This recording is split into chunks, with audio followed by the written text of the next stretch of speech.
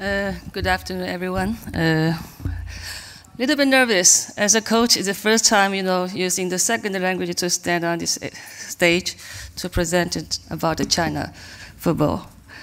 Uh, if you have any further questions, don't be hesitant to ask our, you know, my colleagues. Cindy Guo, she prepared, she prepared everything for me to, you know, to talking about. So I just, my job is just to read it.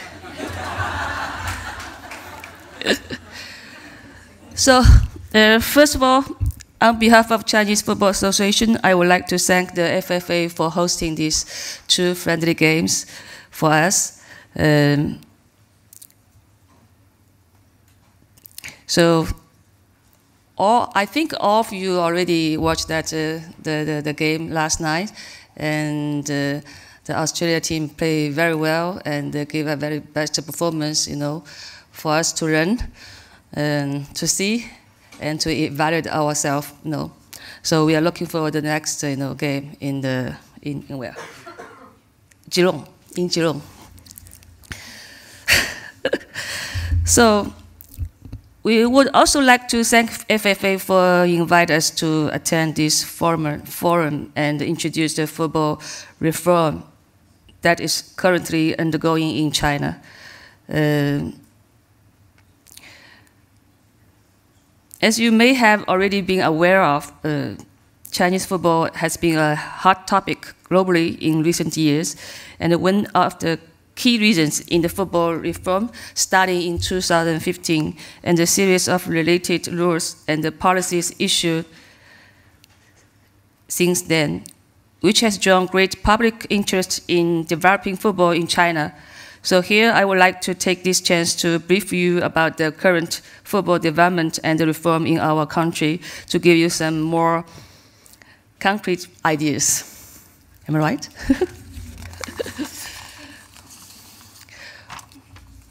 okay. So football in China has become a national strategy and is closely related to the realization of Chinese dream. As the number one sport around the world, football is a highly social, cultural, and international sport. It not only plays an important role in improving people's physical health, but also to promote teamwork and the national unity and solidarity, solidarity and to drive, to drive economic growth. Since the overall reform and development plan of Chinese football was issued in March 2015, a, spe a special task force had been set up involving 16 ministries of the government, including the General Administration of Sports, the Ministry of Education, the Ministry of Finance, and the Ministry of Foreign Affairs, the Ministry of Human Resource, and so on, with our Vice Premier, Premier Madam Liu, Yan, Liu Yandong as the head of the team to guide and coordinate the reform. Since then, a series of policies have been published. They are the plan of accelerating the youth school football development issued in July 2015, the middle to long, long-term development plan of Chinese football from 2016 to, to 2050 issued in April 2016. The football facilities construction plan of Chinese football since two, uh, from 2016 to 2020. This is issued in May 2016. And the CFA action plan 2020, this is issued in January 2017. We have gradually built up the most comprehensive policy framework in the history of Chinese football. Now the task is how to best put them into practice. So next, I would like to present the general structure of Chinese football development. First and foremost, the Chinese Football Association is the sole national governing body responsible for football management, promotion, and development in China. The CFA Congress consists of 47 member associations with 31 provincial, 30 municipal, and three other members. The CFA executive committee consists of 19 representatives from governmental sports department, member associations, professional league, specialized, specialized areas, and the public. CFA has 16 committees. In, com in compression, in compression uh, areas of competitions, technique, referees, youth, women's football, futsal, and the beach soccer, players, media, and the communications, ethics and the fair play, arbitration, disciplinary, professional league council, strategic, strategic development, finance, pitches, and equipment, medical and social responsibility.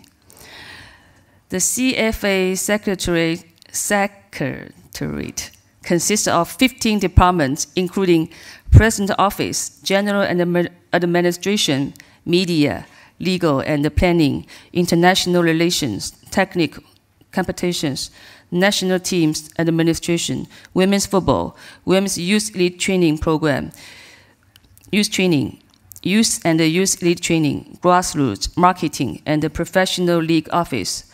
Currently, our secretariat, secretariat has about 110 members of staff.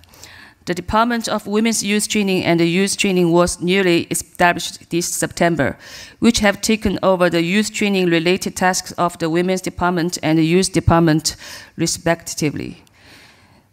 This also suits our aims to strengthen the youth training and the talent identification across the country.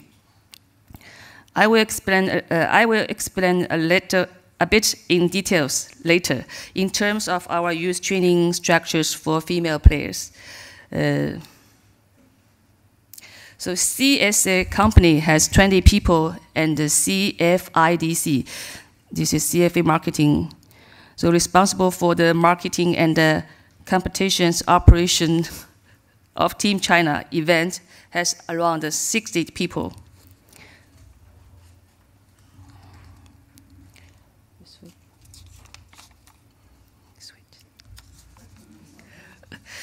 So according to the above mentioned policies, we have divided the goals into three terms.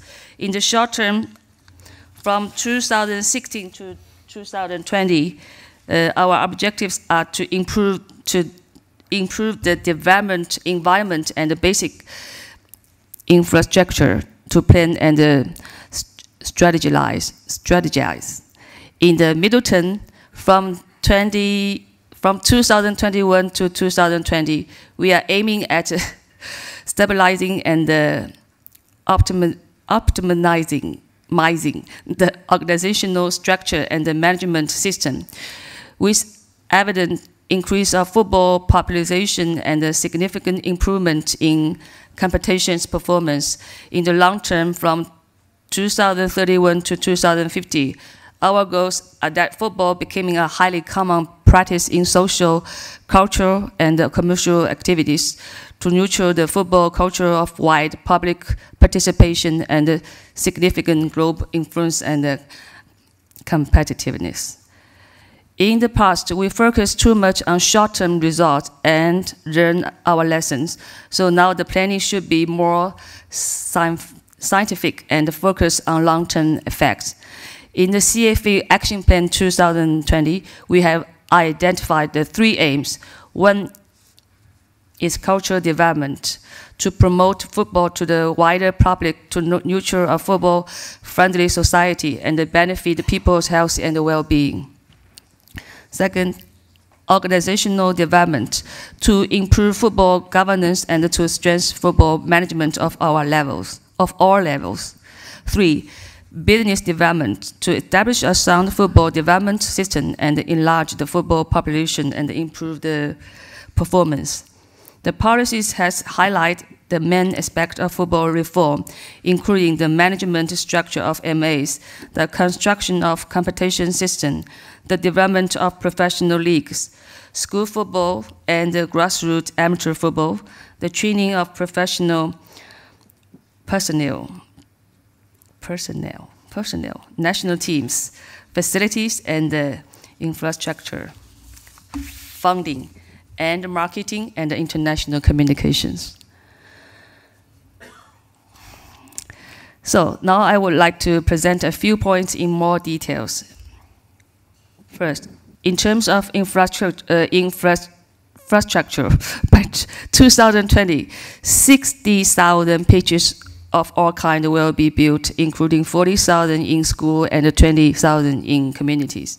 Two new national training centers will be built. Two. The Regarding the popularization of football, we will make full use of schools, communities, and all kinds of organizations to promote football. We will establish the National Football Registration and Event Management pl Platform and support the establishment of amateur clubs and youth clubs. By 2020, the registered youth players is to reach 1 million, including 1 100,000 female players and the registered population of all levels to reach 5 million. We are actively cooperating with FIFA and the AFC with projects like such as, uh, you may know, Live Your Goals, Women's Football Day for F, uh, of AFC to promote women's football and encourage more girls to take up football. So we are aiming at building a comprehensive competition structure with multiple ties from CSL, League 1, League 2, League 3, which is uh, amateur league, to regional leagues and the local MS event. So currently in men's football, we have CSL, League 1, League 2, and the CFA Cup. In women's football, we have Women's Super League, Women's League, and uh, the Youth League. In 2016, our amateur league covers 44 MAs with nearly 30,000 teams and 400,000 people participating in, the, in this event. So the next slide is talking about uh, men's football. I I, we can skip it if you want. if you want to, we can. One, two, three, please. Okay. So in terms of the female game, it did not expand as quickly as the men's game. In 2015, the Reform League system was introduced with two-tier league, Women's Super League and the Women's League One, each with eight teams. So uh, 14 rounds, total 56 matches per season. By the end of the season, the last, the last team of Super League will be relegate to the League One, and the first of League One will be promoted. The second last of Super League will play a playoff with the second of the League One to de determine the final sport of the both leagues. Apart from the leagues, we also organized centralized tournaments like Women's CFA Cup and the Women's Championship for these 16 teams, and the Women's Super Cup in the final match of each season with the champion of the Super League playing against the champion of the championship. We also organize national youth series training camps and the tournament. Currently, the age groups are under 14, under 16, and under 18. At present, women's football in China still rely heavily on the support of the local sports bureau. Among these 16 clubs, only a few are professional clubs. The rest are either cooperation between sports bureau and the enterprise or managed by the sports bureau. And if a girl wants to take up football as a hobby, they can play in school or attend some private clubs. And if they want to take up football more seriously, they can choose to attend the sports school, which are linked to the local sports bureau. And as they grow up, if they are good enough, they can choose by the clubs to take football more serious. So the players' pathway is quite narrow, narrow, and the talent pool is still small. That's the basic reason that we would like to reform the structure of youth and the grassroots training to establish the Women's Youth Training Department, which I will touch upon a bit in details later. So for the school football, by 2020, 20,000 football specific schools are to, build, to be built and 50,000 full-time and part-time foot, football coaches are to be trained. This task is belong to the, you know, uh, our educational bureau. national, national administration of education. Okay, the next. So training of professional pers personnel, the lack of professional personnel negatively affecting our development. So therefore, by 2020, our objectives are to have 70,000 licensed coaches. The current number is 20,000. So 30,000 licensed referees. The current number is 18,000. 60 CFA full-time instructor, 120 CFA part-time instructors, 60 full-time instructors in MAs, 50 national referee instructors, and 35 referee finish instructor.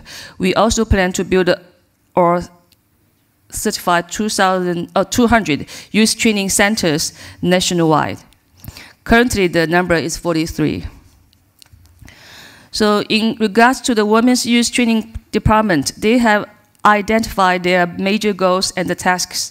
First of all, to set up the three level, city, provincial, and the nation, national, national women's youth training centers structure and Shanghai and the Suzhou have been chosen to conduct a pilot project in 2018. Secondly, appoint one national and two to four regional women's youth training directors, and the city and the provincial provincial youth training centers should also appoint their own directors as the CFA will provide subsidies once approved.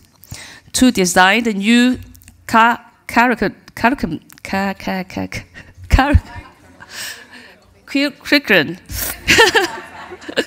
of youth training based on previous lessons and international experience to build up comprehensive data management system for youth training of female players by the end of 2018. Organize elite and grassroots coach training seminars inviting, inviting national and international instructors. Thirdly, establish comprehensive competition system with local, regional, and national training camps, championships, and leagues within and among youth training centers. Fourthly, enlarge talent pools and scout for youth series national team to prepare for AFC and the FIFA championships. Well, this is just a brief introduction of how we work what we are aiming at and how we are going to make it happen. Hope it can help you better understand our effort in football development and, promote, and promotion. The women football in China is recovering as we got quick, quite good results in the Canada World Cup and the Rio Olympics, which has drawn quite a lot of attention and the public interest. But there's still a lot, lot more work to do if we want to return to the top and during the, this process, we needed to open up our mind and learn from international experience. We sincerely hope to continue this kind of exchanges with our counterparts, counterparts like Football Federation Australia to promote women's football in our countries and beyond. Thank you attention.